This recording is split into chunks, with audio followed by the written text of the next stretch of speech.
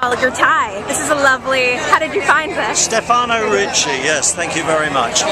Um, so, are you excited to be on the red carpet? Do you like these kind of events, or? Uh, uh, I like the event rather more than the red carpet. The red carpet always gets a little too hot.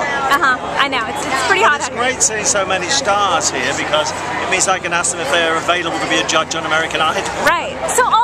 So all the speculation is it overwhelming for you? I mean, do you have a sense of what's going to happen at this point?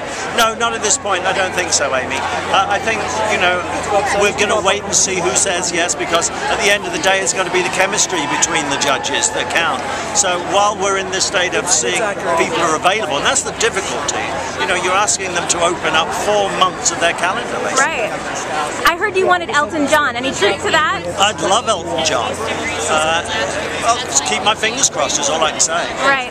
Do you think it's important that the person have kind of a performance background or be a performer? Is, is that something you're looking for? Um, well, if you ever saw Simon Cowell barking as a dog, uh, you'll know that a performance background is not necessary to be a judge on this show. Right. Um, uh, no, it isn't. It's somebody who can recognize talent, basically. Uh-huh. Uh, and if you look at some of the best judges around the world, they, they haven't even been involved in talent shows before.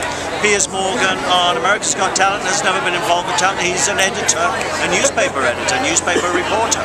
Uh, but it's the common sense that counts. Right.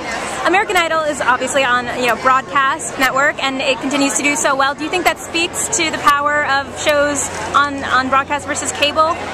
Um, well, I, th I think there are two separate arguments here. That's difficult to say because um, cable is all about the size at the moment and the accessibility, mm-hmm. uh, and that's changing rapidly.